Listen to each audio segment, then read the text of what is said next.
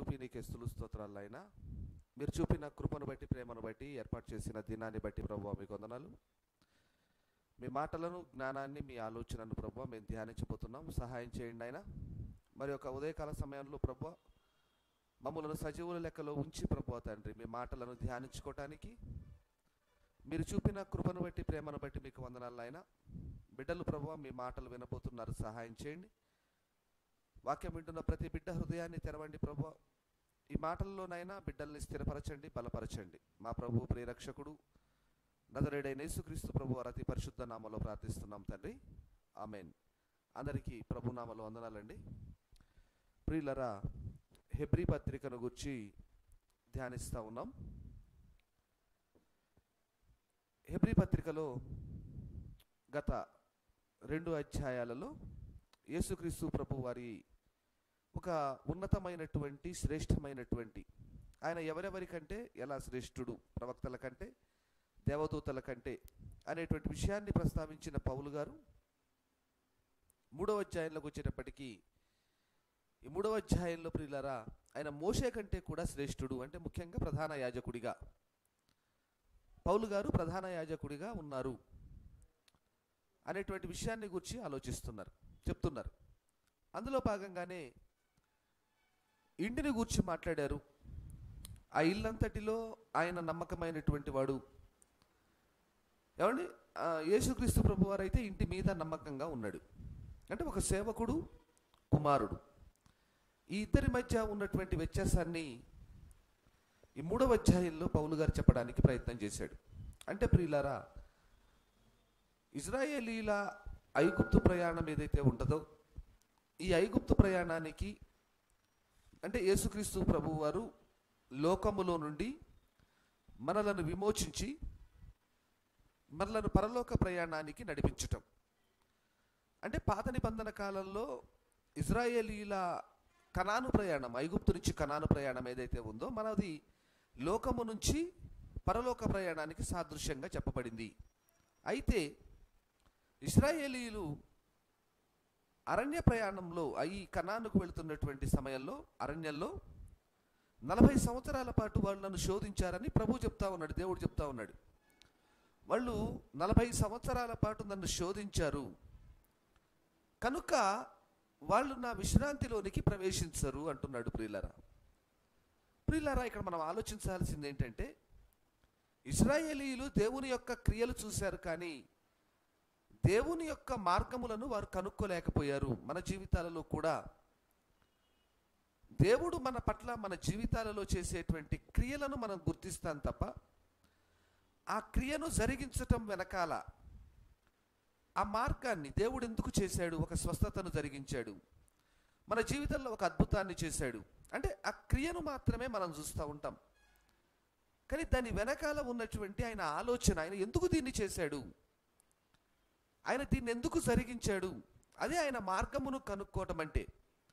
ఎవరైతే ప్రియులారా ఈ మార్గమును కనుక్కుంటారో ఏమండి సూచక్రియలు అద్భుతాలు ఈ రోజున విశ్వాసం అంతా కూడా దాని వెనకాలే పరిగెడతా ఉంది. అసలు విశ్వాసం అనేటువంటి పదానికి నిర్వచనాన్నే మార్చేశారు. ఏమండి ఒక భౌతిక సంబంధమైనది ఆత్మ సంబంధమైన దానితోటి ఎలా సమానమవుతుంది చెప్పండి? ఒక పరలోకమును విడమనేటువంటిది చాలా ఉన్నతమైనటువంటి అంశం అది. దేవుడు దానికి మనకు అర్హులను చేశాడు. ఇప్పుడు దాన్ని తీసుకొని వచ్చి మనము ఒక భౌతిక సంబంధమైన దానికి దేవుడు నేను విశ్వాసంలో ఉన్నాను కాబట్టి దేవుడు నాకు దాన్ని అనుగ్రహిస్తాడు అంటే ఇలాంటి మాటలు మాట్లాడకూడదు. ఒకవేళ భౌతిక సంబంధమైన దాన్ని నువ్వు అడగొచ్చు అడిగితే పొందుకోవచ్చు కూడా. కానీ దాని వెనకాల దేవుని యొక్క మార్గమును నువ్వు కనుక్కోవాలి. అదే దేవుడు కోరుకుంటున్నాడు.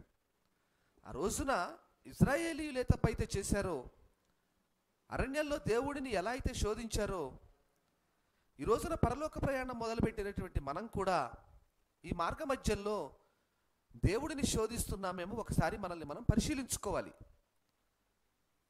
అందుకే పౌలు గారు మాట్లాడుతూ ఆ ఇజ్రాయేలీయులు అరణ్య మార్గంలో దేవుడిని శోధించారు అందుకే దేవుడు ఒక ప్రమాణం చేసేటట ఏం ప్రమాణం చేసేటట చూడండి ఒక్కసారి హెబ్రి పత్రిక మూడవ అధ్యాయం ప్రియులారా.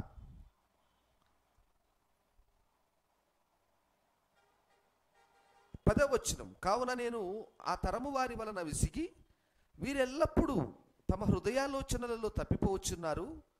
నా మార్గములను తెలుసుకొనలేదు.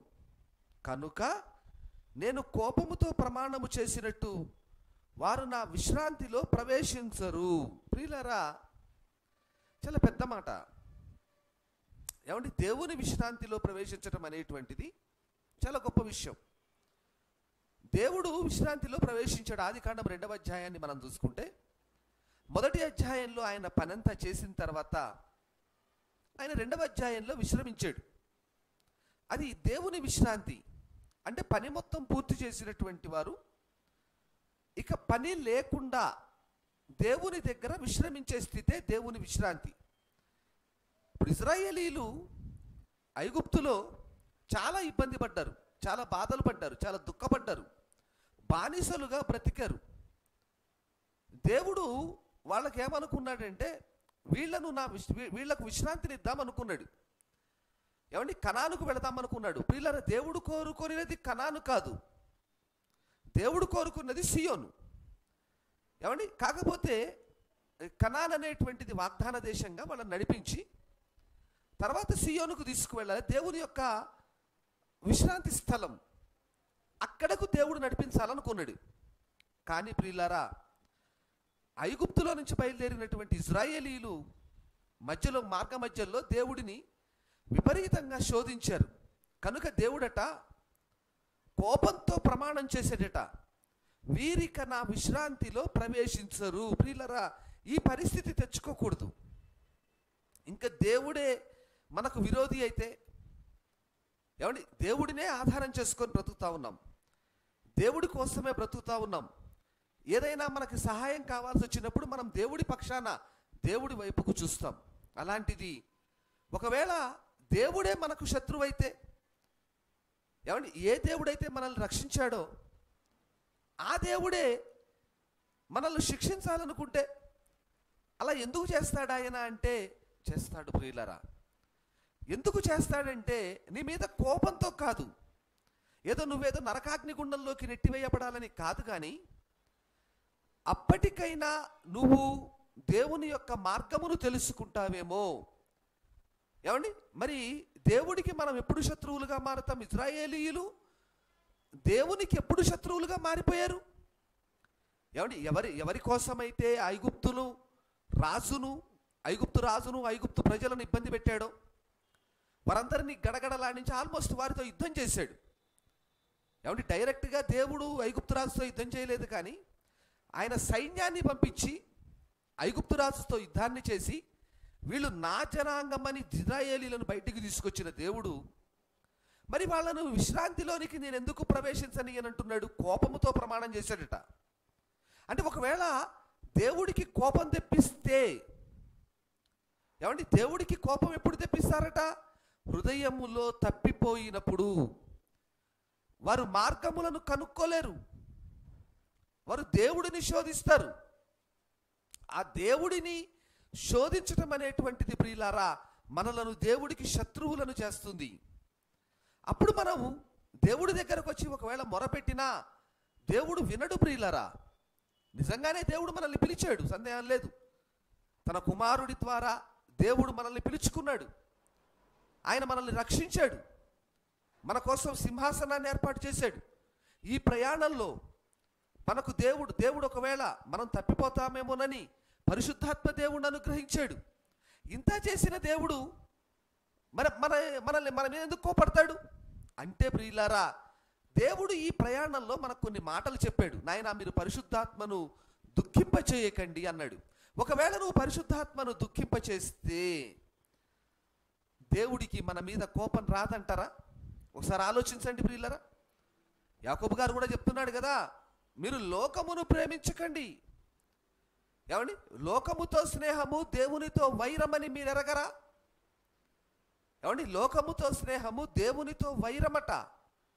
ఒకవేళ మనము దేవుడిని ప్రేమిస్తున్నామని చెబుతూ ఒకవేళ లోకమును ప్రేమిస్తే దేవుడు మనకు శత్రువు కాకుండా ఉంటాడా ప్రియులరా? తొలి దినాలలో ఇజ్రాయేలీలు అదే తప్పు చేశారు. ఏమండి? ఏ దేవుడైతే వారిని బయటికి తీసుకొచ్చాడో ఏ దేవుని ద్వారానైతే వాళ్ళు బయటకు రాబడ్డారో ఆ వచ్చినటువంటి ఈ జనాంగం ప్రయాణంలో మార్గ మధ్యంలో దేవుణ్ణి శోధించారు ప్రియులారా. చూడండి ఒక్కసారి ఆ యశా గ్రంథం ఏమండి? యశా గ్రంథం యాభై ఎనిమిదవ అధ్యాయం ప్రియులారా. పదమూడవ వచనం. యశా గ్రంథం యాభై ఎనిమిదవ అధ్యాయం పదమూడవ వచనం చూద్దాం. నా విశ్రాంతి దినమునా? అంటే మీరు ఆలోచించాల్సింది ఏంటంటే ఇక్కడ విశ్రాంతి అనగానే విశ్రాంతి విశ్రాంతి దినం అనుకుంటున్నాం. ఈరోజు కూడా క్రైస్తవులకి క్రైస్తవులుగా మారిన తర్వాత జనాంగానికి చాలా విషయాలు అర్థం కాలేదు. అంటే ఎందుకంటే చదవటం మానేశారు కాబట్టి కేవలం ఆచారంగా సంఘాలకు వచ్చిపోతున్నారు కాబట్టి నామకార్థకంగా క్రైస్తవ జీవితాలను జీవిస్తున్నారు కాబట్టి విషయాలు ఇప్పటికి ఇంకా అర్థం కాలేదు ప్రియులరా. పాత నిబంధనలో ఏదైనా ఒక మాటను చెప్పాడంటే క్రొత్త నిబంధనకు వచ్చేటప్పటికి దేవుడు దానిని ఒక సాదృశ్యంగా అంటే పాత నిబంధనలో చెప్పబడినది క్రొత్త నిబంధనలో సాదృశ్యం. అంటే ఈ పాత నిబంధన సాదృశ్యం అయితే క్రొత్త నిబంధన రుజువై ఉన్నది. పాత నిబంధన నీడైతే కొత్త నిబంధన నిజమై ఉన్నది. ఇప్పుడు పాత నిబంధనలో విశ్రాంతి అన్నాడు. విశ్రాంతి దినం అనలేదు విశ్రాంతి అన్నాడు. ఏడుసు యహోవా దేవుడు ఆదికాండం రెండవ అధ్యాయం రెండవ వచనంలో ఆయన తాను చేసిన తన పని అంతటి నుండి విశ్రమించను. కాబట్టి ఇజ్రాయేలీలకు ఆజ్ఞలు ఇచ్చేటప్పుడు ఒక మాట చెప్పాడు. ఏమని చెప్పాడంటే నాయన మీరు ఆరు దినాలు పని చేయండి. ఏడవ దినము విశ్రాంతి దినం.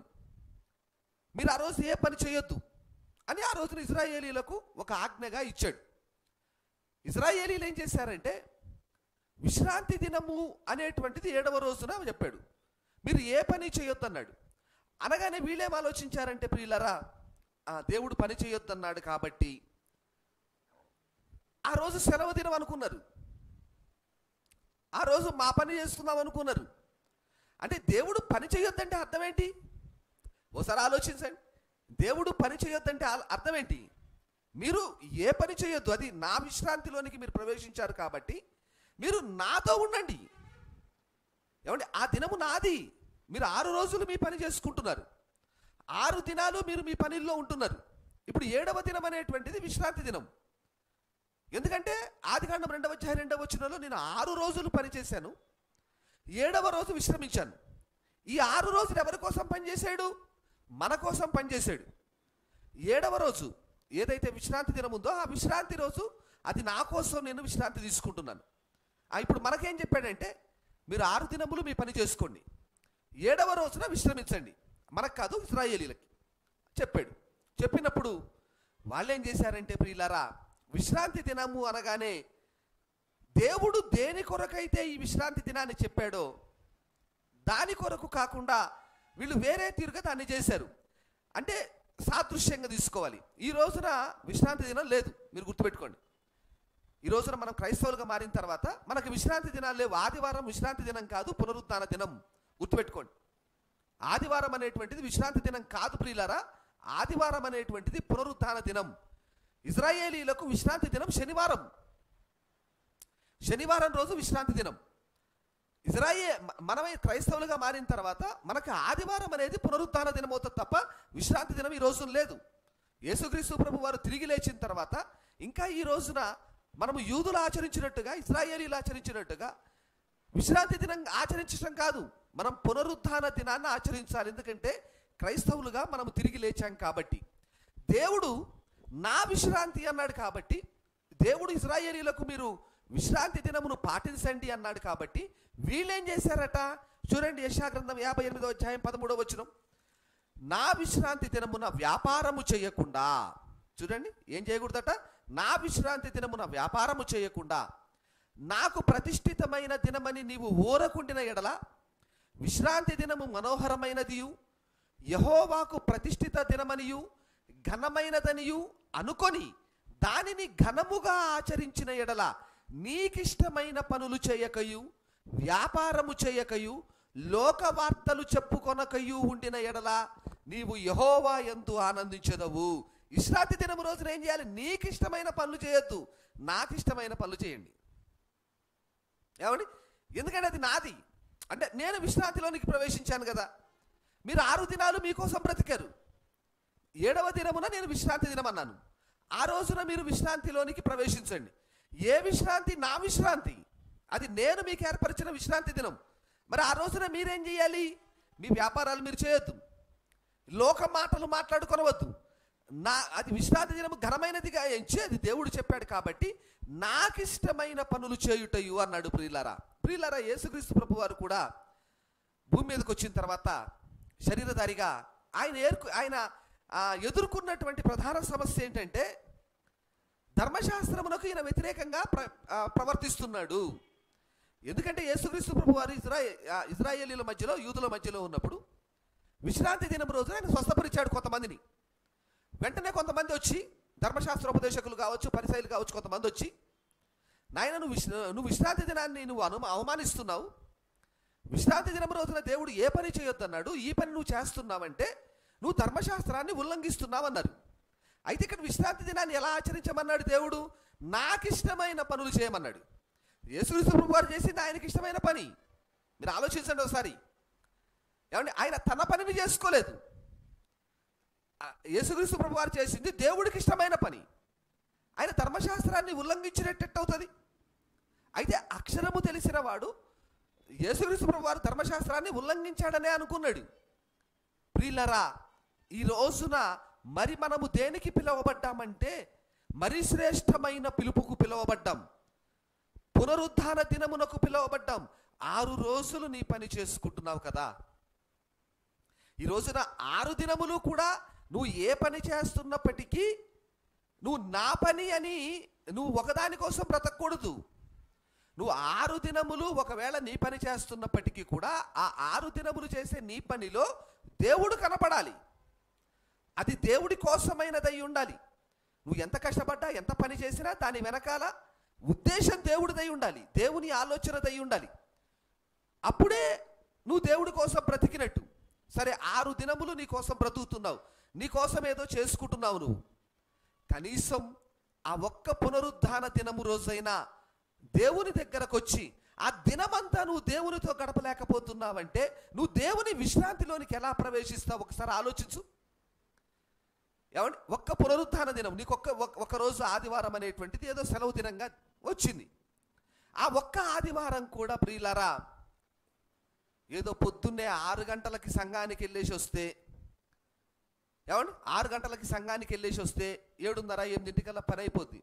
ఇక ఆ దినమంతా సంతోషంగా ఉండొచ్చు. మంచిగా ఆ రోజు సెలవు దినం. ఇంకొంతమంది ఉంటారు. ఎక్కువసేపు పడుకుందాం.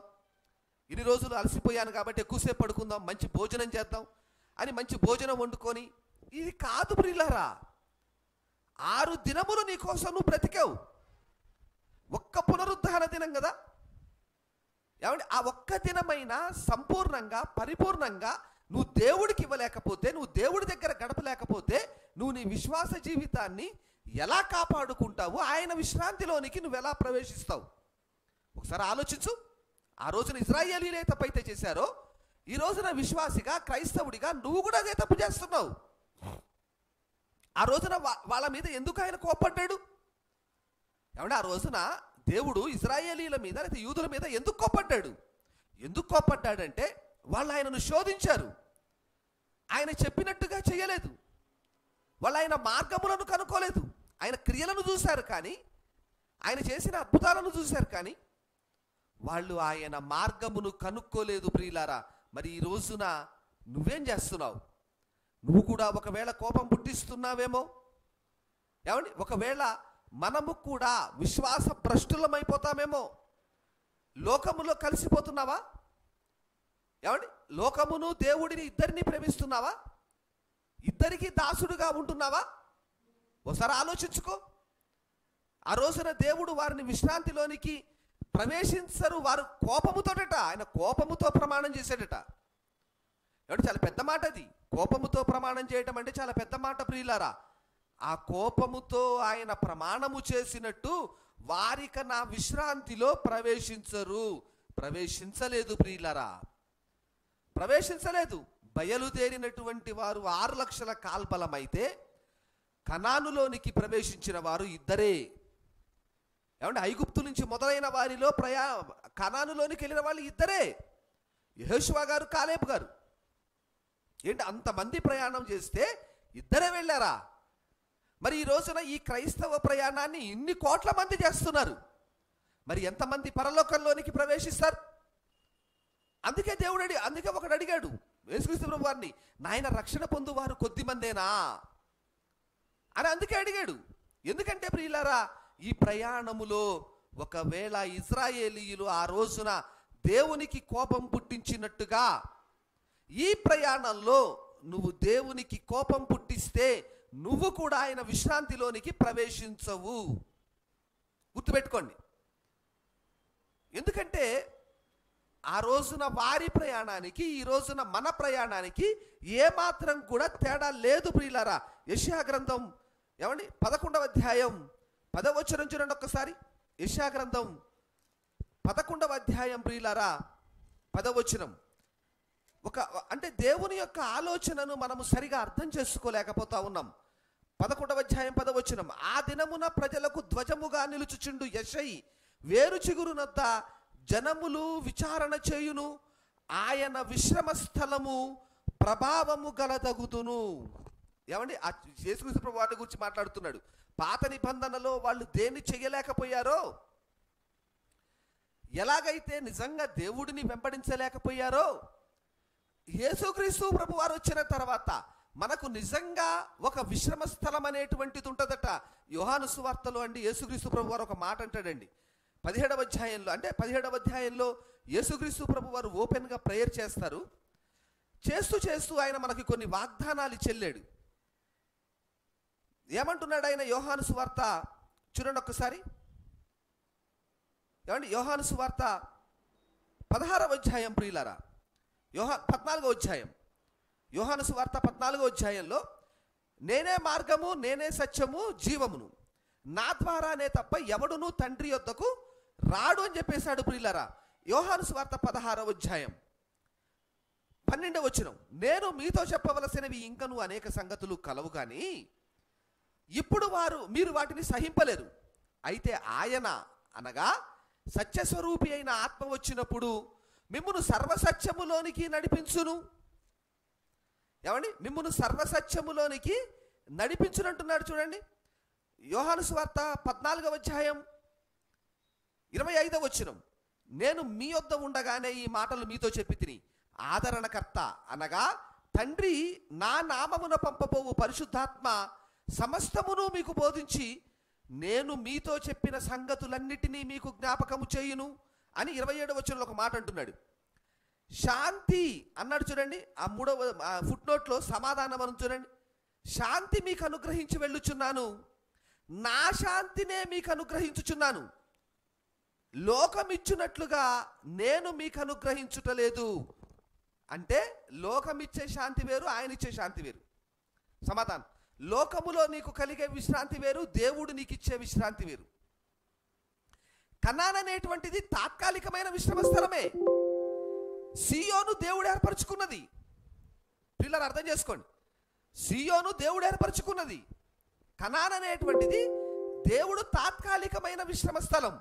మీరు మీరు బాగా ఆలోచించండి. ఇజ్రాయేలీలు యహోశివ కాలేబు గారు స- క- కనానులోనికి ప్రవేశించారు. కానీ ఇజ్రాయేలీలను సియోను దాకా నడిపించింది దావీదు గారు. దావీదు గారు ఇజ్రాయేలీలను సియోను దగ్గరికి తీసుకెళ్ళాడు. అంటే దేవుడు ఏర్పరచుకున్న విశ్రమ స్థలం ఏదైతే ఉంటుందో అక్కడికి దావీదు గారు నడిపించాడు. మోషే గారు నడిపించలేకపోయాడు. మీరు మీరు ఆ జాగ్రత్తగా ఆలోచించండి.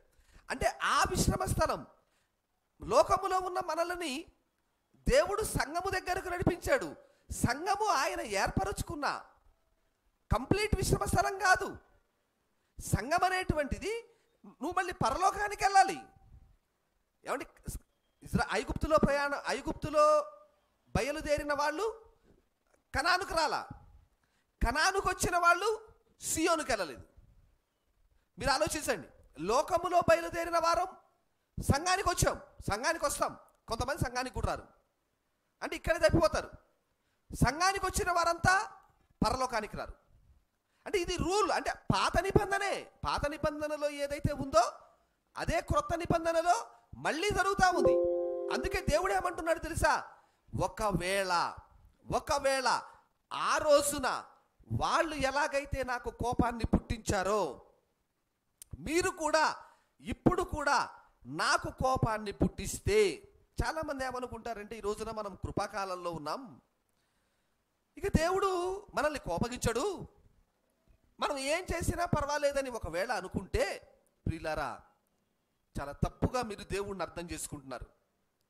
ఏమంటే మనం కృపాకాలములోనే ఉన్నాం. అసలు ఆయన కృప లేనిది ఎప్పుడు? ఏమండి ఆయన కృప లేనిది ఎప్పుడు? ఆయన కృప ఉంది కాబట్టే మనం బ్రతుకుతున్నాం. ఏమండి ఆయన కృప ఉంది కనుకనే చనిపోయిన మనము తిరిగి లేచాం. ఏమండి మనల్ని పరలోకానికి అర్హులు చేశాడు. ఆయన కృపలోనే మనం బ్రతుకుతున్నాం. అయితే అయితే ఈ కృప అనేటువంటిది ఎలా ఉంటుంది తెలుసా ప్రియులారా? దేవుడికి కోపాన్ని పుట్టించదు కానీ దేవుడు చెప్పినటువంటి మాట నువ్వు వినకపోతే ఈ కృప అనేటువంటిది అప్లై అవ్వదు. అర్థం చేసుకోండి మీరు. ఏమండి? కృప ఎప్పుడు అప్లై అయితే ఆ ఆయన చెప్పిన మాటలు విన్నప్పుడు. ఆయన చెప్పిన మాటలేంటి? చాలా సింపుల్గా చెప్పాడు ప్రియులారా. మత్తైసు వార్త పదకొండవ అధ్యాయంలో చూడండి ఒకసారి. మత్తైసు వార్త పదకొండవ అధ్యాయంలో ఒక మాట అంటున్నాడు యేసుక్రీస్తు ప్రభు వారు మత్తైసు వార్త పదకొండవ అధ్యాయం ఇరవై ఎనిమిదవ వచ్చినం ప్రయాసపడి భారము మోసుకొనుస్తున్న సమస్త జనులారా నా యొద్దకు రండి. నేను మీకు విశ్రాంతిని కలగజేతును. రైట్ బాగుంది. అందరం మనం నేర్చుకునే మాట ఇది. ప్రయాసపడి భారం మోసుకొనుచున్న సమస్త జనులారా అంటే అందరిని పిలుస్తా ఉన్నాడు. నా యొద్దకు రండి. నేను మీకు విశ్రాంతిని కలగజేస్తాను. అయితే తర్వాత మాట చూడండి ఏమంటున్నాడు? నేను మీకు విశ్రాంతిని కలగజేతును. నేను సాత్వికుడను దీన మనస్సును గలవాడను కనుక మీ మీద నా కాడి ఎత్తుకొని నా యొద్ద నేర్చుకొనుడి. ఆయన దగ్గరికి రాగానే విశ్రాంతి దొరకదు. విశ్రాంతి కలగజేస్తానన్నాడు ఆయన. రైట్. ఎప్పుడట? మీ మీద నా కాడి ఎత్తుకోండి. అప్పుడు మీకు విశ్రాంతి దొరుకును అన్నాడు చూడండి అక్కడ. ఏమండి? ఏమన్నాడు అప్పుడు? అప్పుడు మీ మీ ప్రాణములకు విశ్రాంతి దొరుకును. ప్రియులరా అసలు ఈ క్లాస్ అర్థమైందా మీకు? ఏమండి? ఈ కండిషన్ అర్థమైందా? అన్కండిషనే. పౌలు గారు అంటాడు కదండి ఏమంటాడు తెలుసా? నాకు అన్నీ నాకు అన్నిటా స్వతంత్రం కలదు కానీ అన్నీ చేయదగినవి కావు. అంటే ఇక్కడ చేయదగినవి కావు అనేటువంటిది స్వతంత్రాన్ని హరించినట్ట? లేదు అన్కండిషనల్ కండిషన్ ఇది. అర్థమైందండి? Unconditional condition. అన్కండిషనే. ఆయన అన్కండిషన్ లవ్ అన్కండిషన్ గ్రేస్. అందులో సందేహమే లేదు. ఆయనది అపరిమితమైన కృప అపరిమితమైన జాలి అపరిమితమైన దయ సందేహం ఏం లేదు దాంట్లో. అయితే అయితే ఏమన్నాడు ఇక్కడ? ప్రయాసపడి భారం మోసుకొని చిన్న సమస్య జనులారా నా ఎద్దుకు రండి. నేను మీకు విశ్రాంతిని కలగజేస్తాను. అంటే విశ్రాంతి ఆయన దగ్గర ఉంది. మనం అక్కడికి వెళితే మనకు విశ్రాంతి దొరుకుతుంది. అయితే ఆయన దగ్గరికి వెళ్ళాం. ఆయన దగ్గరకు వచ్చాం. వచ్చినప్పుడు ఆయన చెప్పిన మాట ఏంటంటే నేను సాత్వికుడను దీన మనసుడు మంచోడు మంచి చాలా మంచి విషయం. కాబట్టి నా కాడి మీరెత్తుకోండి. ఏమండి? నా కాడిని మీరు మోయండి. అప్పుడు మీ ప్రాణములకు విశ్రాంతి దొరుకును. అని కింద ఏమన్నాడు తెలుసా? మళ్ళీ ఏమన్నాడు తెలుసా కింద? నా కాడి సులువుగా ఉంది. నా భారము తేలికగా ఉంది. అంటే ఇప్పుడు ఆయన మన మీద పెట్టింది ఏది ఆయన మన మీద పెట్టినది ఏంటట? సులువైనది తేలికైనది. సులువైనదైనా తేలికైన మీరు మొయ్యాలి. నువ్వు మొయ్యకుండా నీకు విశ్రాంతి లేదు.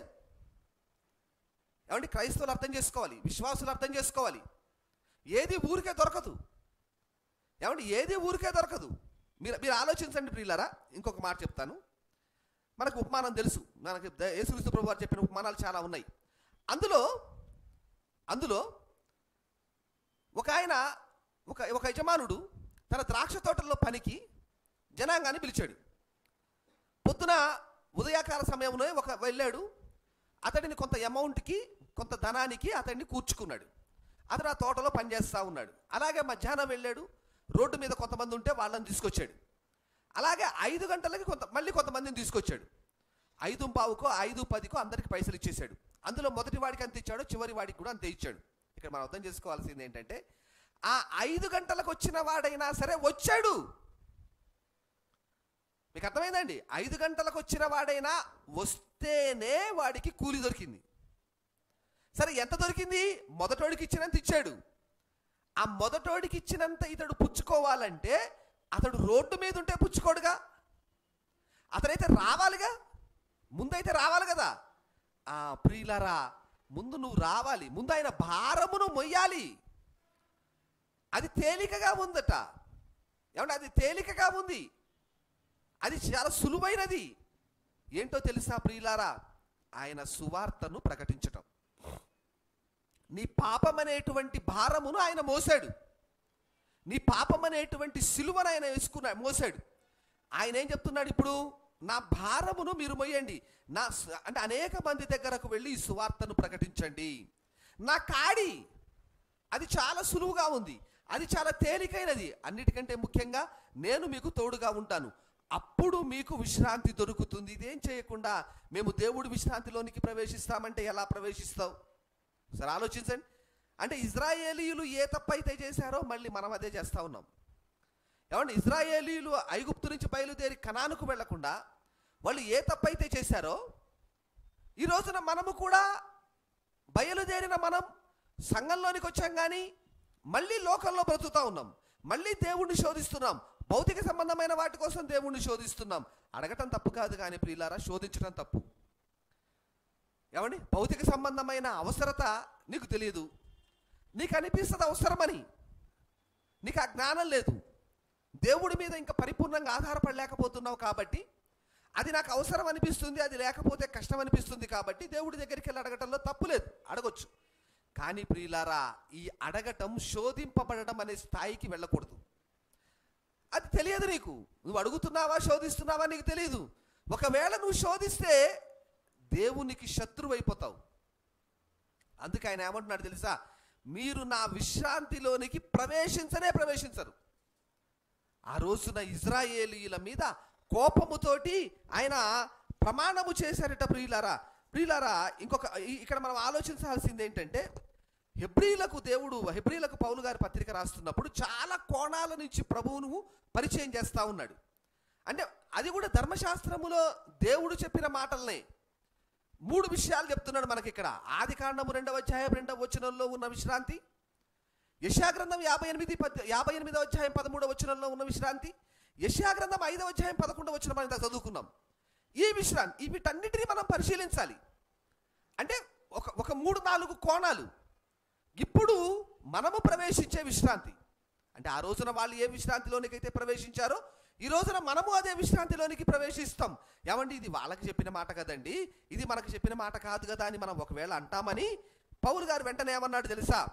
పదకొండవ వచ్చిన ఏమన్నాడు? కనుక నేను కోపముతో ప్రమాణము చేసినట్టు వారు నా విశ్రాంతిలో ప్రవేశింపరని చెప్పి తిని పన్నెండవచనం సహోదరులారా ఆ, జీవము గల దేవుని విడిచిపోవునట్టి విశ్వాసము లేని దుష్ట హృదయము మీలో ఎవని ఎంతైనను ఒకవేళ ఉండునేమో అని జాగ్రత్తగా చూసుకొనుడి. అంటే ఎవరు చెప్పాడు ఈ మాట?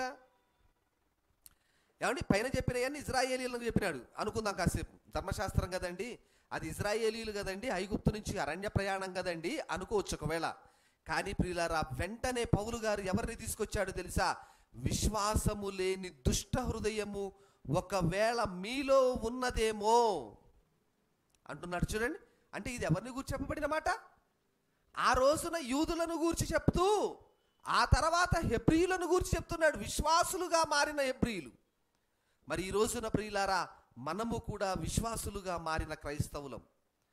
అంటే విశ్వాసము లేకపోవడమే దుష్ట హృదయాన్ని కలిగి ఉండడం గుర్తుపెట్టుకోండి. ఎవరికైతే దుష్ట హృదయము కలిగి ఉంటుందో వారిలో విశ్వాసం ఉండదు. ఇంతకీ దుష్ట హృదయం ఏంటి? ఏమండి? అసలు విశ్వాసము లేకపోవటమే దుష్ట హృదయం అంటున్నాడు కదా. విశ్వాసము లేకపోవటం అంటే ఏంటో తెలుసా ప్రియులరా? మనము దేవుని దేవుడు నాకు పరలోకం ఇస్తాడు అని నమ్మకపోవటం. లేకపోతే నేను ఇంకా రక్షింపబడ్డాను అని నమ్మకపోవటం? నేను దేవుడిని వెంబడిస్తున్నాను అనే స్పృహ ఉండి కూడా లోకములో బ్రతకటం. ఏమండి? ఇదే దుష్ట హృదయం. చూడండి ఒక్కసారి పా యేసుక్రీస్తు ప్రభు వారు ఉన్నప్పుడు మార్కుసు మార్కు సువార్త ఆరవ అధ్యాయం యాభై రెండవ వచనం. ఏమండి? మార్కు సువార్త ఆరవ అధ్యాయం ప్రియులరా మార్కు సువార్త ఆరవ అధ్యాయం యాభై రెండవ వచనం. అయినను వారి హృదయము కఠినమాయను గనుక. ఏమని ఏమైందట? వారి హృదయము కఠినమాయను గనుక. వారు ఏం చేశారట? వారు రొట్టెలను గూర్చిన సంగతి గ్రహింపలేదు. ఎప్పుడైతే నిన్న మనం మాట్లాడుకున్నట్టుగా హృదయం కఠినమైద్దో అప్పుడు మనం సంగతులను గ్రహించలేం. ఆటోమేటిక్గా మనము విశ్వాసములో నిలబడలేం. ప్రియులారా ఇంకొక మాట అంటాడు పౌలు గారు. కొరిందీలకు రాసిన మొదటి పత్రిక చూడండి ఒక్కసారి. ఏమండి? కొరిందీలకు రాసిన మొదటి పత్రిక రెండవ అధ్యాయం ప్రియులారా. కొరిందీలకు రాసిన మొదటి పత్రిక రెండవ అధ్యాయం. మొదటి వచ్చిన సహోదరులారా నేను మీ యొక్కకు వచ్చినప్పుడు వాక్చాతుర్యముతో కానీ జ్ఞానాతిశయముతో కానీ దేవుని మర్మమును మీకు ప్రకటించుచు వచ్చిన వాడను కాను. నేను యేసుక్రీస్తును అనగా సిలువ వేయబడిన యేసుక్రీస్తును తప్ప మరి దేనిని మీ మధ్య ఎరగకుందునని నిశ్చయించుకొంటిని? మరియు బలహీనతతోనూ భయముతోనూ ఎంతో వణకుతోనూ మీ యొద్ద ఉంటిని. ఆ నాలుగో వచ్చిన ఏమంటున్నాడండి? మీ విశ్వాసము మనుషుల జ్ఞానమును ఆధారము చేసుకొనక దేవుని శక్తిని ఆధారము చేసుకొని ఉండాలి. ఏమండి? ఇక్కడ విశ్వాసము లేని దుష్ట హృదయము ఒకవేళ మీలో ఉందేమో అన్నాడు. అసలు ఇంతకీ క్రైస్తవుడికి విశ్వాసం అంటే ఏంటో తెలుసానండి? ఏమండి? మనమందరము విశ్వాసులం. మనమందరం విశ్వాసులుగా పిలువబడుతున్నాం. నిజాన్ని మరి నిజంగానే మన మనమందరము విశ్వాసులుగా పిలువబడుతున్నాం? విశ్వాసులుగా పిలువబడుతున్న మనము అసలు విశ్వాసం అనేటువంటి పదము యొక్క నిర్వచనం తెలుసుకున్నామా ఈ రోజుకి? ఇప్పటికీ? ఇప్పటికీ కూడా నీకు విశ్వాసం అంటే ఏంటో తెలుసా? భౌతిక సంబంధమైన దానికోసం దేవుడి దగ్గర అడిగి అది పొందుకోగానే నాకు విశ్వాసం ఉంది కనుక నేను విశ్వాసిని అని నువ్వు అనుకుంటున్నావు. అది కానే కాదు ప్రియులారా. అది కానే కాదు. విశ్వాసం అంటే ఏంటో తెలుసా? దేవుడు నాకు పరలోకాన్ని ఇస్తాడు. అది యేసుక్రీస్తు ద్వారా యేసుక్రీస్తు ప్రభు వారి ద్వారానే దేవుడు నాకు పరలోకాన్ని ఇస్తాడు అని నమ్మడమే విశ్వాసం. మరి భూమి మీద భౌతిక సంబంధమైనవి ఇస్తానని నమ్మడం విశ్వాసం కాదా అంటే ప్రియులారా దానికి విశ్వాసమే అవసరం లేదు. ఏమండి? ఎందుకంటే భూ మన క్రైస్తవులు కానటువంటి వారికి చాలా మందికి భూమి మీద చాలా దొరుకుతూ ఉన్నాయి. వాళ్ళ దానికి దానిని పొందుకోవడానికి నీకు విశ్వాసం అవసరం లేదు కదా. విశ్వాసం అనేది చాలా పెద్ద మాట. విశ్వాసం అనేది చాలా గొప్ప మాట. ఇప్పుడు ఆ విశ్వాసమును నువ్వు కలిగి ఉండాలి. ఆ విశ్వాసము లేకపోవడం అంటే దేవుడు నాకు పరలోకాన్ని ఇస్తానని నమ్మకపోవడం దేవుడు నన్ను బయటికి తీసుకొచ్చాడని నమ్మకపోవడం దే నేను మళ్ళీ లోకములోనికి వెళితే దేవుడికి నేను శత్రువైతానని నువ్వు తెలుసుకోకపోవడమే నువ్వు దుష్ట హృదయాన్ని కలిగి ఉన్నట్టు. ఎందుకు కలిగి ఉంటాను తెలుసా అది? హృదయం కఠినపరచబడుతుంది ప్రియులారా. ఎన్ని చెప్పినా జనాంగం నమ్మడం లేదు. ఎన్ని ఉపమానాలను చెప్పినా జనాంగం నమ్మడం లేదు. ఆ రోజున యేసుక్రీస్తు ప్రభు వారు శరీరధారిగా జనాంగాన్ని ఎడ్యుకేట్ చేయడానికి ప్రయత్నం చేస్తే జ్ఞానాన్ని నేర్పడానికి ప్రయత్నం చేస్తే ఎవరి మధ్యలోనైతే ఆయన పుట్టాడో వాళ్ళే ఆయనను రాళ్ళతో కొట్టి చంపాలని ట్రై చేశారు. ఏమండి? వాళ్ళే ఆయనను ఈయన దయ్యం పట్టిన వాడన్నారు. యేసుక్రీస్తు ప్రభు అని ఏమన్నారు తెలుసా? దయ్యం పట్టిన వాడట. ఏమండి? యేసుక్రీస్తు ప్రభు వారు దయ్యం పెట్టినవాడా అది దుష్ట హృదయం కాదా? ఒకసారి ఆలోచించండి. యేసును క్రీస్తుని అంగీకరించకపోవడం దుష్ట హృదయం కాదా? ఒకవే ఎందుకు ఆ దుష్ట హృదయం కలుగుతుంది? నీ హృదయ కాఠిన్యం వలన. ఎప్పుడైతే నీ హృదయం కఠినపరచబడుతుందో నీ మనోనేత్రాలకు గుడ్డితనం కలగజేయబడుతుంది ప్రియులారా. సంగతులను నువ్వు గ్రహించలేవు. ఏమండి? సంగతులను నువ్వు గ్రహించలేవు. మా ఆయన మార్గమును నువ్వు తెలుసుకోలేవు. అది దుష్ట హృదయమే మరి విశ్వాసము లేని దుష్ట హృదయం విశ్వాసివైన నువ్వు విశ్వాసము లేని దుష్ట హృదయముతో బ్రతుకుతావా? ఒకసారి ఆలోచించండి. ఎంతకాలం ప్రియులారా ఈ చిన్న చిన్న వాటి కోసం బ్రతుకుతాం? పౌలు గారు అంటాడు కదా కేవలం నేను ఈ లోకములో ఈ జీవిత కాలము మట్టుకే క్రీస్తునందు నిరీక్షించిన ఎడల నేను మనుషులందరికంటే దౌర్భాగ్యుండవుతానన్నాడు ప్రియులారా. అంటే ఈ జీవిత కాలములో నువ్వు నిరీక్షణ కలిగి ఉండవచ్చా అంటే కలిగి ఉండొచ్చు ఏమండి? నువ్వు దేవుడి మీద ఆధారపడొచ్చు అంటే ఆధారపడొచ్చు. కానీ నువ్వు దానికోసమే దేవుని మీద ఆధారపడొద్దు.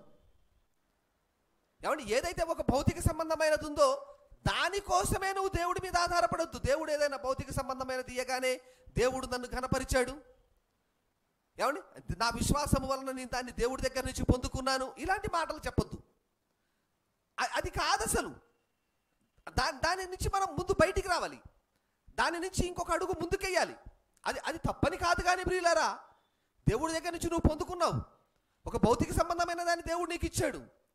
అంత మాత్రం చేత ఈ భౌతిక సంబంధమైన దాని వలననే దేవుడు కనపరచబడుతున్నాడు అనేటువంటి ఆలోచన చేయొద్దు. అసలు భౌతిక సంబంధమైనది చాలా చిన్నది. పాత నిబంధనలో ఇజ్రాయేలీయులను దేవుడు నడిపిస్తున్న క్రమంలో వారు ఏడుస్తూ ఉంటే వారు మాకు ఆ మాంసం కావాలన్నారు. ఏడ్చారు మాకు మాంసం కావాలంటే దేవుడు దాన్ని పంపించాడు. ఇజ్రాయేలీలు మాకు నీళ్ళు కావాలన్నారు నీళ్ళు పంపించాడు. కానీ దేవుని యొక్క ఉద్దేశం ఏంటంటే అరే ఇంతమందిని నేను పోషిస్తున్నానంటే అసలు ముందు మీరు నన్ను గుర్తించండి. నిజమైన దేవుడిని నేనని మీరు గ్రహించండి. అప్పుడు మీరు నన్ను నిజముగా వెంబడించగలుగుతారు. అంటే దేవుడు ఇవన్నీ ఎందుకు చేస్తాడంటే తన మీద ఆధారపడటానికి జనాంగం తనను విశ్వసించడానికి అవును ఈయన ఉన్నాడు. ఈయన పరలోకములో ఉన్నాడు.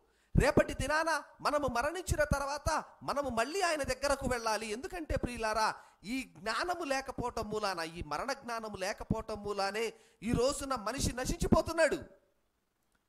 ఆ జ్ఞానమును ఆయన కలగజేయడానికి యేసుక్రీస్తు ప్రభు వారిని భూమి మీదకు పంపించి యేసుక్రీస్తు ప్రభు వారి ద్వారా దేవుడు మనలను రక్షించే ప్రయత్నాన్ని చేశాడు ప్రియులారా. ఈ విశ్వాసము లేని దుష్ట హృదయం. ఏమండి ఆయన మీద ఆధారపడలేనటువంటి తత్వం. ఇంకొక వచనాన్ని చూద్దాం ప్రియులారా. అదే మార్కు సువార్త ఎనిమిదవ అధ్యాయం. ఏమండి అదే మార్కు సువార్త ఎనిమిదవ అధ్యాయం ప్రియులారా పదిహేడవ వచనం. అది ఎరిగి మరి మన యొద్ద రొట్టెలు లేవే రొట్టెలు లేవే అని మీరు ఎందుకు ఆలోచించుకొనుచున్నారు? మీరు ఇంకను గ్రహింపలేదా? వివేచింపలేదా? మీరు కఠిన హృదయము గలవారై ఉన్నారా ఏమండి? విశ్వాసము లే ఎందుకు ఉండదంటే ఏంటి దుష్ట హృదయం అంటే కఠినమైన హృదయం హృదయాలను కఠినపరచుకోవటం.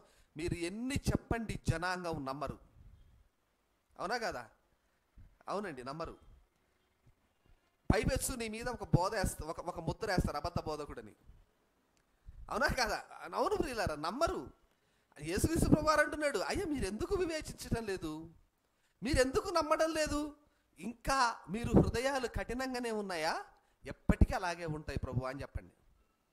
ఏమండి? మేము అలాగే చచ్చిపోతాం ప్రభు అని చెప్పండి. మా హృదయాలు కఠినమే చేసుకుంటాం. కానీ మేము విశ్వాసాలు అని భ్రమపడతా ఉంటామని చెప్పండి దేవుడి దగ్గరకు వచ్చి. దౌర్భాగ్యం ఏంటంటే ప్రియులారా అపవాది ఏం చేశాడంటే ఈ రోజున బోధకులను సెలబ్రిటీలు చేసేసాడు. ఏమండి? బోధకులను చాలా చార్మింగ్గా చూపిస్తూ ఉన్నాడు.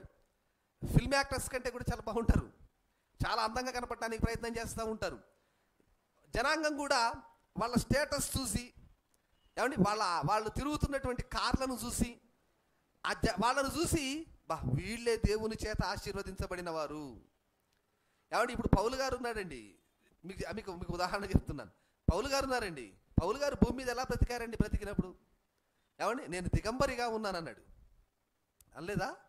గురింజలకు రాసిన రెండో పత్రిక మొదటి ప- అధ్యాయం చదువుకోండి. ఇరవై మూడో వచ్చిన నుంచి. ఏమంటే ఆయన చెప్పలేదా? నేను దిగంబరుడిగా ఉన్నాను అన్నాడు. నాకు బట్టలు లేవు. అయి- అయి అది ఉండే పరిస్థితి కూడా లేదు. ఆకలైంది నాకు అన్నాడు. నేను పస్తులు ఉండాల్సి వచ్చింది అన్నాడు. అలాంటి అలాంటి పౌలు గారు ఇప్పుడు వచ్చాడు అనుకోండి. వచ్చి చిరిగిన బట్టలు వేసుకుని అక్కడ నిలబడ్డాడు అనుకోండి. ఒక సెలబ్రిటీ బోధకుడు ఇక్కడ నిలబడ్డాడు. ఏది? మన దృష్టిలో సెలబ్రిటీ బోధకుడు చాలా గొప్ప బోధకుడు. నువ్వు ఎవరి దగ్గరికి వెళ్తావు? అయ్యా నేను పౌలు అని చెప్పినా కూడా నువ్వేమంటావు తెలుసా?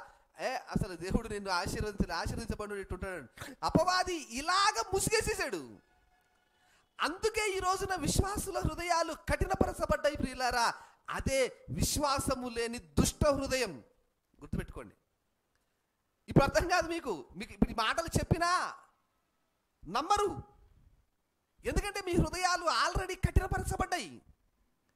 ఒక అబద్ధాన్ని నిజమని నమ్మేటంతగా కఠినపరచబడ్డాయి. దేవుని వాక్యము కూడా మీ హృదయాలను తాకలేనంతగా మీ హృదయాలను మీరు కఠినపరుచుకున్నారు. ప్రార్థన చేయండి దేవుడి దగ్గర. భౌతిక సంబంధమైన ఈ రంగుల మాయలో నుంచి ముందు బయటపడండి. ఏమండి? ఈ రంగుల మాయలో నుంచి బయటికి రండి. ఏది నిజమో ఏది అబద్ధమో గుర్తించండి ముందు. ఏది విశ్వాసమో ఏది విశ్వాసము కాదో గుర్తించండి ముందు. యేసుక్రీస్తు ప్రభు వారు ఎందుకంటున్నాడండి శిష్యుల్ని? ఏంది మీరు ఇంకా గ్రహింపలేదా? ఏంటి అంత వివేచన లేకుండా ఉన్నారా? మీ హృదయాలను అంత కఠినపరుచుకున్నారా? ఏమండి? అరే నేను అన్ని అద్భుతాలు చేశాను అన్ని సూచక్రియలు చేశాను అక్కడ. అన్ని కార్యాలు చేశాను. ఏం గ్రహించారు మీరు? అసలు యేసుక్రీస్తు ప్రభు వారు తిరిగి లేస్తాడన్న వాక్యమే వాళ్ళు మర్చిపోయారు. అసలు ఆయన బోధంతా అదే కదండి. మతేశ్వార్త పదహారో అధ్యాయంలో యేసుక్రీస్తు ప్రభు వారిని ఆ, నీవు దే- దేవుని కుమారుడమైన క్రీస్తు అని పిలిచిన సీమోను పేతురు గారు కూడా యేసుక్రీస్తు ప్రభు వారు సమాధిలో లేకపోయేటప్పటికీ ఆయన ఎవరు ఎత్తుకుపోయారని నమ్మి పారిపోయాడు అక్కడి నుంచి. మీరు ఆలోచించండి. ఏంటి ఆ వచనం గుర్తుకు రాలేదా? ఆయన తిరిగి లేస్తాడన్న వచనం. లేదు. ఎందుకు గుర్తుకు రాలేదు? హృదయం కఠినపరచబడింది ప్రియులారా. ఏమంటే హృదయం కఠినపరచబడింది. ప్రిలారా హృదయము కఠినపరచబడటమే విశ్వాసము లేని దుష్ట హృదయాన్ని కలిగి ఉండటం అంటే. మళ్ళీ అది విశ్వాసమనే అనుకుంటా ఉంటారు. ఏమంటే అది విశ్వాసమనే అనుకుంటుంటారు. అదే మార్కు స్వార్త పదహారవ అధ్యాయం పద్నాలుగవ వచనం. పిమ్మట పదకొండు మంది శిష్యులు భోజనమునకు కూర్చున్నప్పుడు ఆయన వారికి ప్రత్యక్షమై తాను లేచిన తర్వాత తన్ను చూచు తన్ను చూచిన వారి మాట నమ్మనందున వారి అపనమ్మిక నిమిత్తమును హృదయ కాఠిన్యము నిమిత్తమును వారిని గద్దించను. ఆయన లేచాడని చెప్పినా శిష్యులు నమ్మట్లేదు. అర్థమైందండి? ఆయన లేచాడు నాయన అని చెప్పినా శిష్యులు నమ్ముతలేరు. ఎవరో వచ్చి చెప్పారు మాకు క్రీస్ అక్కడ కనపడ్డాడంటే మీరు భ్రమపడుతున్నారు అంటున్నాడు. మరి వచనం గుర్తుకు రాలేదా? అరే ఆయన బ్రతుకున్నప్పుడు మాతో ఇన్ని మాటలు చెప్పాడు. ఆయన శరీరధారిగా ఉన్నప్పుడు మాతో ఇన్ని విషయాలు చెప్పాడు. మరి అవన్నీ కరెక్టే కదా? మరి ఇప్పుడు ఆయన తిరిగి లేస్తానన్నాడు బహుశా లేచాడేమో అనే మాటలు ఎందుకు గుర్తుకు రావడం లేదు ప్రియులరా వాళ్ళకి? హృదయ కాఠిన్యం ప్రియులరా హృదయ కాఠిన్యం. ఒకవేళ ఈ రోజును కూడా నువ్వు హృదయ కాఠిన్యాన్ని కలిగి ఉంటే ఒక భయంకరమైన స్థితిలోకి నువ్వు వెళ్ళిపోతున్నావు. ఏమండి? సత్యమును నవ్వకు నమ్మకుండా దుర్నీతికి చెవులిస్తే దేవుడు ఏం చేస్తాడో తెలుసా? దశలోనికైలకు రాసిన రెండవ పత్రిక. చూడండి రెండవ అధ్యాయం ప్రియులారా దశలోనికైలకు రాసిన రెండవ పత్రిక రెండవ అధ్యాయం పదకొండవ వచనం. ఇందుచేత సత్యమును నమ్మక దుర్నీతి ఎందు అభిలాష గల వారందరూ శిక్షావిధి పొందుటకై ఆ, అబద్ధమును నమ్మునట్టు మోసము చేయు శక్తిని వారికి పంపుతున్నాడు. ఏమండి? నువ్వు సత్యమును నమ్మకుండా ఒకవేళ దుర్నీతిలే నమ్మితే నిన్ను మోసం చేసే శక్తిని నీ బోధకుడికి ఇస్తాడు. ఎంత ప్రమాదకరం. ఏమండి? ఒకసారి గుర్తు తెచ్చుకోండి. ఒకసారి ఆలోచించండి. ఈ మాటలను ఆలోచించండి. ఏమండి? దేవుడు అలా ఎందుకు చేస్తాడండి? దేవుడు ఎందుకు ఇలా చేస్తాడండి? దేవుడే తన పిల్లలను తాను చంపుకుంటాడా? ఇలాంటి ఇలాంటి మాటలు మాట్లాడద్దు. ఏమంటే ఆయన తన పిల్లలను రక్షించుకోవడానికే ట్రై చేస్తాడు. దుర్మార్గుడు మరణము నొందుట వలన నాకేమైనా సంతోషము కలుగునా అని పాత నిబంధన గ్రంథంలో ఎహెచ్కెల్ గ్రంథంలో అన్నాయన ఆయన ఆయన. ఎందుకు చంపుతాడు? కాదు ప్రియులారా కానీ నీ మీదకు మరణమును నువ్వే కొని తెచ్చుకుంటున్నావు అది ఆయన చేసేది కాదు. ఆయన నీకు కృపనే చూపుతున్నాడు. ఆయన నీకు దయనే చూపుతున్నాడు. ఆయన నిన్ను రక్షించడానికే ప్రయత్నం చేస్తా ఉన్నాడు. నీ హృదయాన్ని నువ్వు కఠినపరచుకుంటే ఆయన ఏం చేయగలుగుతాడు? ఏమండి? సత్యమును నీ ముందు పెట్టాడు. న్యాయాన్ని నీ ముందు పెట్టాడు. నీతిని నీ ముందు పెట్టాడు. నాయన వీటిని అనుసరించన్నాడు. మీకా గ్రంథంలో అన్నాడు కదండి నా నీ మనుషుడా ఏది ఉత్తమమైనదో అది నీ ఎదుట పెట్టబడి ఉన్నది. నువ్వు దాన్ని అనుసరిస్తే చాలు కదా. అని మరి చెబుతున్నప్పుడు ప్రియులారా క్రైస్తవుడు ఎందుకు గ్రహించలేకపోతున్నాడు తెలుసా? విశ్వాసము లేని దుష్ట హృదయం. ఎప్పుడు ఉంటుందో తెలుసా అది? హృదయము కఠినపరచబడ్డప్పుడు. ఏమండి? హృదయము కఠినపరచబడ్డప్పుడు. హృదయము కఠినపరచబడితే ఆయన మాటలు నీకు గుర్తుకు రావు. ఆయన చెప్పిన మాటలు గుర్తుకు రావు. ప్రియులారా జాగ్రత్త. అర్థం చేసుకోవడానికి ఆలోచించడానికి ప్రయత్నం చేయండి. దేవుడిని లోతుగా అర్థం చేసుకోండి. ఆయన మార్గాలను తెలుసుకోండి ఆయన క్రియలు కాదు. ఆయన మా ఆయన క్రియలను లో ఆయన మార్గాన్ని తెలుసుకోండి ఆయన క్రియలను మాత్రమే తెలుసుకుంటే ప్రయోజనం లేదు. కనుక ప్రియులారా జాగ్రత్తగా ఆలోచించటానికి ప్రయత్నం చేయండి. హెబ్రి పత్రిక ప్రియులారా మనకు అనేక విషయాలను బోధిస్తూ ఉంటుంది కాబట్టి జాగ్రత్తగా వినడానికి నేర్చుకోవడానికి ప్రయత్నం చేద్దాం. రేపటి దినాన ప్రియులారా మనకి బైబిల్ క్లాస్ ఉండదు. రేపు ఎల్లుండి శనివారం ఆదివారం తిరిగి మళ్ళీ సోమవారం ఉదయం ఆరున్నర గంటలకి యథావిధిగా మనకి హెబ్రి పత్రిక బైబిల్ క్లాస్ కొనసాగుతుంది కనుక అందరూ కూడా ఈ క్లాస్ తరగతిని వినడానికి ప్రయత్నం చేయండి. ప్రార్థన చేసుకొని ముగించుకుందాం. ప్రేమమయుడ సత్యస్వరూపినికి స్తులు స్తోత్రాలు ఆయన మీరు చూపిన కృపను బట్టి ప్రేమను బట్టి ఏర్పాటు చేసిన దినాన్ని బట్టి ప్రభు మీకు వందనాలు మీ మాటలను మీ జ్ఞానాన్ని మీ ఆలోచనను ప్రభు ధ్యానించడానికి మీరు కృపను చూపుతున్నారు నాయన. మా జీవితాలలో ప్రభు మరి యొక్క దినాన్ని మీరు అనుగ్రహించి ఉన్నారు నాయన. మా హృదయాలను ప్రభు మేము కఠినపరచుకొనకుండా మీ ఆలోచనను అర్థం చేసుకోవడానికి కావలసిన ఆ శుద్ధ హృదయాన్ని మీరు మాకు అనుగ్రహించండి. నూతనమైన మనస్సును ప్రభు మీరు మాకు పుట్టించండి ప్రభు మీ కృపలోనైనా మమ్మల్ని భద్రపరచండి. వాక్యం విన్న ప్రతి బిడ్డను జ్ఞాపకం చేసుకోండి ప్రభు ఈ మాటలలో వారి నాయన వారిని స్థిరపరచండి బలపరచండి. ఇంకనూ నాయన లోతుగా మిమ్మల్ని అర్థం చేసుకోవడానికి కావలసిన జ్ఞానాన్ని వివేకాన్ని మీరు వారికి అనుగ్రహించి ఈ మాటల ద్వారా మీరు మహిమపరచబడమని గణపరచబడమని మీ చిత్తం యావత్తు బిడ్డల పట్ల జరిగించమని మీకే సమస్త మహిమ ఘనత ప్రభావాలు ఆరోపిస్తూ మా ప్రభు ప్రియరక్షకుడు నజరేడైన యేసుక్రీస్తు ప్రభు వారి అతి పరిశుద్ధ నామంలో ఈ ప్రార్థన అడిగి వేడుకుంటున్నాము తండ్రి. ఆమెన్. అందరికీ వందనాలండి. దేవుని చిత్తమైతే మళ్ళీ కలుసుకుందాం.